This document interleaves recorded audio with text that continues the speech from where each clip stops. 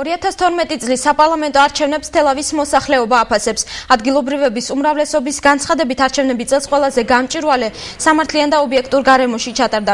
თელაველების თქმით, საუბნო საარჩევნო კომისიებში სერიოზულ დარღვევებს ადგილი არ ჰქონია. გამოკითხულთა ნაწილის განმარტებით კი საზოგადოება პოლიტიკური პარტიების შესახებ საკმარის ინფორმაციას არ ფლობდა და წნეხის ქვეშ იყო მოქცეული.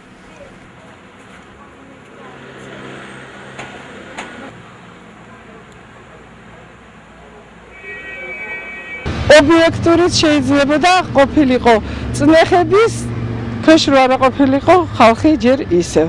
შიში მაინც არა ქონდა ძალიან ბევრს დააძლეული და ჩვენი სოფლები ინფორმაციულ ვაკუუმშია.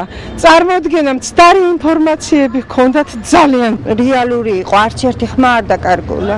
ნუ ამდენი დამკვირვებელი იყო, ამდენი ხალხიც ისე იყო განწყობილი და ობიექტურად იყო. საპარლამენტო არჩევნობა კარგად ჩაიარა, მეც ვიყავი პირადად მისული, დემოკრატიული იყო.